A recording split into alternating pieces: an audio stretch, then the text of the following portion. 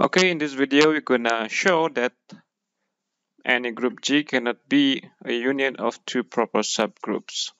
Okay, so say on the contrary that G is equal to the union of A and B, where both A and B are subgroups, proper subgroups of G, right? So then we have uh, this mental picture in our mind that G is a union of two proper subgroup A and B. Okay. And then since A is a proper subgroup or B is a proper subgroup, then we can find an element in A which is not belong to B.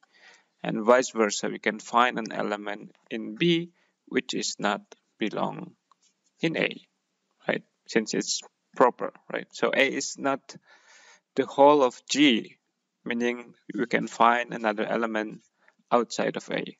Similarly, we can find an element outside of B. So let's call A is an element in A but not in B, and B an element in B but not in A. So we can ask the question, what's going on with A times B? Remember that G is a group. Since A is in G, and B also is in G. So clearly, since a group is closed under multiplication, then AB must be in G, correct? But G is A union B. So if AB is in union A and B, then AB must be in A or in B, right? So that's the only option we have. Now, if a b in a, we can write a times b is equal to x for a certain x in a, right? Now, remember that a is an element in a, hence the a inverse is also an element in a. So if we multiply with a inverse to the left, then we have b is equal to a inverse x, which is an element in a, since a inverse and x are in a. But the this leads to a contradiction since B is not in A. And similarly, we can argue like above. If we have AB equals to Y, then A is YB inverse, which is an element in B, but we already knew that A is not in B.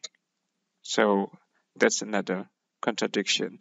So AB cannot be in A and cannot be in B, right? But that's not possible since G is A union B. So then G cannot be equal to the union of two proper subgroups for any A and B proper subgroups of G. Okay, so that's it. It's not that difficult. Thank you for watching. See you again on the next video. Bye.